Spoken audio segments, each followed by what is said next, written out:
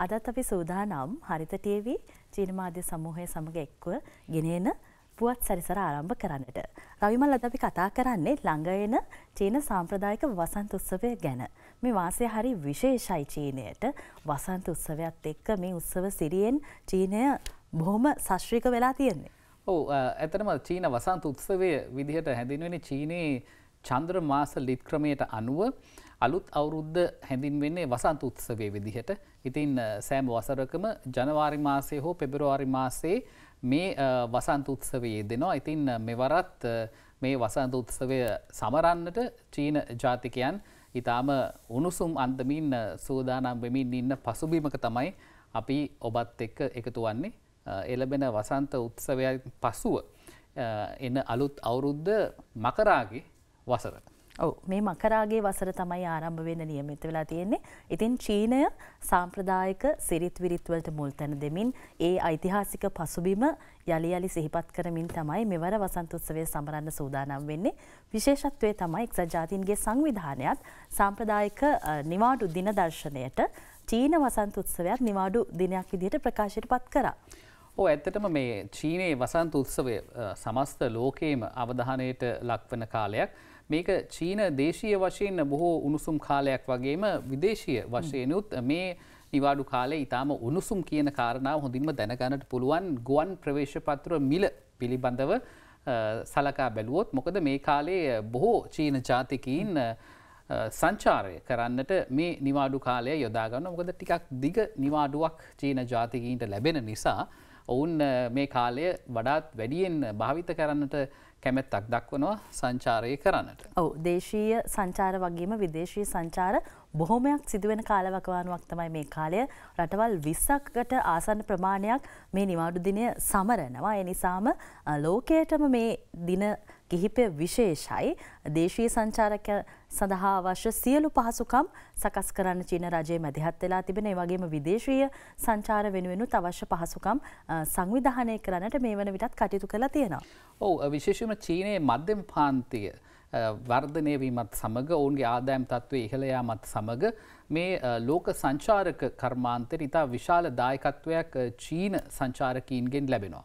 ඉතින් මේ නිසාවෙන් ලෝකයේ බොහෝ රටවල් චීන සංචාරකින් තමන්ගේ රටවලට ආකර්ශණය කරගන්නට විවිධාකාරයේ සහන ප්‍රතිපත්ති ක්‍රියාත්ම කරනවා විශේෂයෙන්ම වීසා රහිත ප්‍රතිපත්ති ක්‍රියාත්ම කිරීම සිදුවනවා. දැන් මේ කාලෙත් ශ්‍රී ලංකාවට පැමිණෙන චීන සංචාරකීන්ට වීසා රහිතව පැමිණීමේ හැකියාව තිබෙන විශෂම මුදල් ගෙවීමකින් තොරව ඔවුන්ට ශ්‍රී ලංකාවට පැමිණීමේ හැකියාව තිබෙන ඊට අමතරව තායිලන්තය සහ සිංගප්පූරුව වැනි රටවලොත් චීනය සම්බන්ධයෙන් චීන සංචාරකීන්ට විසා රහිත ප්‍රතිපත්ති ක්‍රියාත්ම කිරීමට ප්‍රවේශ වෙලා තිබෙනවා. ඔව විශේෂෙන්ම සිංගප්පූරුවත් මේ විසා රහිත ප්‍රතිපත්තිය චීනය වෙනුවෙන් ක්‍රියාත්ම කර රවිමකිව වගේම දින තියක් මේ වීසා පහසුකම හිමි වෙනවා චීන ජාතිකයන්ට. එනිසා මේ රටවල් අතර සම්බධතාවයන් වර්ධනය කරන්න ඉතාමත් වැදගත් ප්‍රතිපත්තියක් විදිහට තමයි බොහෝ රටවල් චීන ජාතිකයන් සඳහා මේ කාලවකවානුව තුළ විසා රහිත ප්‍රතිපත්ති ක්‍රියාත්ම කරන්නේ.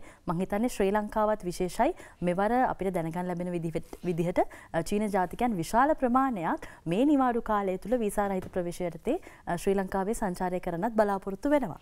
ඕ විශේෂෙන් දැන් ශ්‍රී ලංකාව සංචාර කර්මාන්තයේ ප්‍රවර්ධන වෙනුවෙන් විශාල වැඩ කොටසක් ක්‍රියාත්ම කරනවා. ඒ අතරින් චීන සංචාරකීන් ආකර්ශණය ඉතාම වැදගත් පියවරක් විදිහට තමයි ඔවුන් සලකන්නේ වෙනුවෙන් විධ ප්‍රවර්ධන ක්‍රියාකාරකම් ක්‍රියාත්මක වුණා. ඉතින් මේ පිළිබඳවත් අපි තොරතුරු විමසීමක් කළා.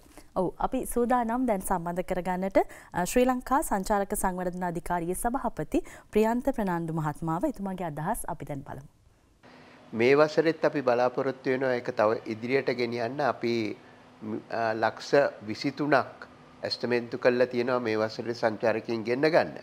ඒකම අපි චීනය ගැන කතා කරොත් චීනයෙන් අපි බලාපොරොත්තු වෙනවා මේ වසරදී 225000ත් 250000ක් අතර සංචාරකීන් ප්‍රමාණයක් ලංකාවට ගෙන්න ගන්න.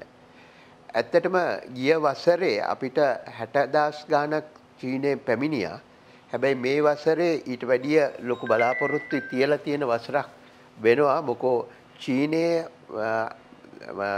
ටුවරිස්ලා මිලියන 264ක් පිට රටවල් වලට යෑමට සැලසුම් කරලා තියෙනවා. රටවල් විස්සක් ඔවුන් ප්‍රමෝට් කල්ලා තියෙනවා. ඒ අතර ලංකාවත් ඉන්නවා. ඉතින් මෙයින් අපිට ප්‍රයෝජන ගන්න හැකිවෙයි කියලා බොහෝදුරට බලාපොරොත්තු වෙනවා. චයිනීස් නිවයකත් එක්ක බොහෝ දෙනෙක් නිවාඩු යනවා. ඉතින් පිබිදීමක් බලාපොරොත්තු වෙන්න පුළුවන් පෙබරවාරි මාසයේ සිටම අපිට බොහෝ දුරට ලක්ෂ දෙලක්ෂ විසිපන්දාහා ළඟා කරගන්න හැකිවේ. චීනය අවුට්බවුන්් වල්ට ලබල දීල තියෙන ප්‍රමුඛතාවයක්ත් එක්ක මිලියන දෙසීය හැට හතරම් මේ වසරදිම සංචාරය කරන්ඩ අපිට මේ මාකට් එක තවත් හුඟත් දියුණු කරගන්න පුළුවන් අනිත් එක දෙරට අතර තියෙන සම්බන්ධතා උඩ ලංකාවට මීට වැඩිය හොඳ ප්‍රතිචාරයක් අපිට චීනයෙන් ලබාගන්න හැකිවෙයි කියලා බලාපොරොත්තු වෙනවා. මං ආරාධනා කරනවා චීනයෙන් එන සංචාරකීන්ට එන්න මෙහෙට අපිට තේමා 18ක් යටතේ වගේ ලංකාව ඔවුන්ට විවෘත කරන්න පුළුවන්. season and sand, wildlife, nature tourism, cultural, heritage ඒ වගේ තීම්ස් දහටක් වගේ වෙල්නස් ටුවරිසම් අපේ ආරුවේද ප්‍රමෝට් කරන්න පුළුවන් ඒ වගේ බොහෝ තීම්ස් යටතේ අපිට චීන සංචාරකීන්ට නැවුම් අත්දැකීමල් ලබාදීමට හැකියාව තියෙනවා. අපිට හුඟත් දුරට බලාපොරොත්තු වෙන්නේ මික්ස් එකක් හයි ස්පෙන්ඩින් ටුවරිස්ලයි බජට් ටුවරිස්ලගේ අතර මික්ස් එකක් තමයි අපිට චීනයෙන් බලාපොරොත්තු වෙන්න පුළුවන්. ඒ වගේම මැණික් කර්මාන්තය පිළිබඳවත් ඔවුන්ගේ අවධානයක් තියෙනවා. වෙළඳ සම්බන්ධතා ඇති කරගන්නත් පුළුවන්. ඉතින් චීනය අපිට බොහොම වැදගත් මාකට් එකක්. මේ එන මාස දෙක තුන ඇතුළත ලොකු ප්‍රතිචාරයක් ලැබේ කියලා බලාපොරොත්තු වෙන්න පුළුවන්. ඔව ඉතින් මේ විදිහට දැන් ශ්‍රී ලංකාව චීන සංචාරකයින් පිළිබඳව ඉහළ බලාපොරොත්තු තබාගෙන තිබෙනවා විශේෂයෙන්ව මධ්‍යම සහ ඉහළ වශයෙන් වැඩි වියදම් කිරීමේ හැකියාව තිබෙන සංචාරකීන් ආකර්ශණය කරගන්නට ශ්‍රී ලංකාව වඩාත් වැඩි අපේක්ෂාවන් තිබෙන බව තමයි සඳහන් වන්නේ. ඒ සඳහා විවිධාකාරයේ ප්‍රවර්ධන ක්‍රියාකාරකම් වගේම ඔවුන්ට අදාළ පහසුකම් සැලසීමටත් කටයුතු සම්පාධනය කරලා තිබෙනවා. ඔවු දැන් මේ චීන සංචාරක ශේෂ්‍රයේ ප්‍රවර්ධනයක්ත් එක්ක ලෝක ආර්ථිකයට ලබා දෙන දායකත්වයක් රවිමල් මෙතනදී හරිම වැදගත්. මේ වර්ෂය ආරම්භයත් එක්ක සංචාරක ශ්‍රේෂ්‍රයේ ප්‍රවර්ධනය උදෙසා චීනය ලබා දෙන මේ පුළුල් දායකත්වය ලෝක ආර්ථිකයට ප්‍රබල ශක්තියක් එක් කරනවා කියලා තමයි බොහෝ දෙනා ප්‍රකාශ කරන්නේ. ඒ නිසා විශේෂයෙන්ම චීනය මේ වසරේ ක්‍රියාත්මක කරන්න අපේක්ෂිත විවෘත ප්‍රතිපත්ති සහ නවීකරණ වැඩපිළිවෙල මේ සියල්ල සමගාමීව රටවල් එක්ක අලුත් වුණු සම්බන්ධතාත් එක්ක නව ප්‍රතිපත්ති එක්ක ඉදිරියට යන්න තමයි චීනය බලාපොරොත්තු වෙන්නේ. ඒ නිසා මේ චීන සාම්ප්‍රදායික වසන්ත උත්සවයත් එක්ක ලබා ගන්න ආරම්භය හරි වැදගත් වෙලා තියෙනවා. ඔව් ඇත්තටම මේ දිනිස් දැන් බේජි නගරේදී පැවතුනා සීතකාලීන ඔලිම්පික් ක්‍රීඩාවලල මේ ඔලිම්පික් ක්‍රීඩාවලත් එක්ක චීනයේ අයිස් සහ හිම මේ ක්‍රීඩාවන් පිළිබඳව ජනතාව තුළ තිබෙන උනන්දුව තවත් වර්ධනය වුණා ඒ හරහා මේ අයිස් හා හිම සම්බන්ධ සංචාරක කර්මාන්තයටත් විශාල දායකත්වයක් ලැබෙමින් තිබෙනවා. මේ චීනය අයිසා හිම ආර්ථිකය සංවර්ධන අධිය කරක පත් පවතින බව තමයි සඳහන් වනේ නිසාවෙන් දැන් මෙවැනි සංචාරක ගමනාන්ත කරත් චීන සංචාරකීන් වඩාත් වැඩි වශයෙන් යොමුවීමේ කැමැත්තක් දක්වනවා.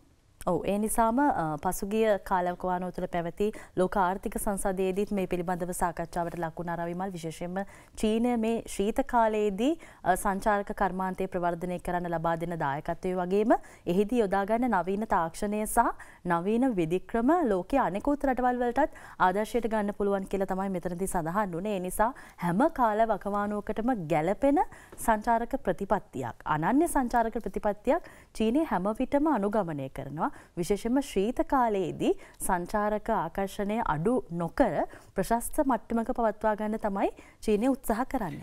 ඔවු දෙන්න සංචාරක ක්ෂේත්‍රයේ නියලෙන අය සඳහන් කරන විශේෂ කරුණක් තමයි චීන සංචාරකීන් විශේෂයෙන් මෙම රටවල් වලට සංචාරය කිරීම දෙවුන් සංචාරය කිරීම විතරක් නෙමේ මේ රටවල්වල තිබෙන නිෂ්පාදනය. මිලදී ගන්නට වඩාත් වැඩි කැමැත්තක් දක්වනවා කියලා.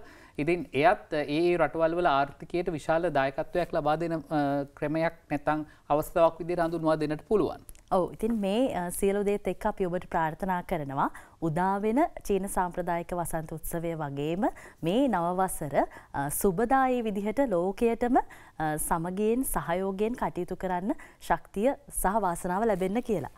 ඔව ඉතින් ඒ ප්‍රාර්ථනයත් සමගින් අපි ඔබෙන් අදට සමුගන්නවා. සුබ දවසා.